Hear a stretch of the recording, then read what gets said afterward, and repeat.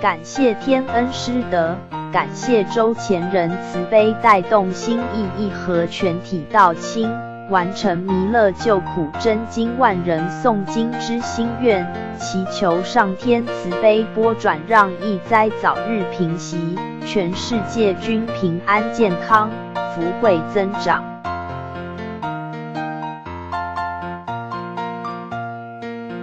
新意义和一百一十年万人诵经谢恩祈福活动，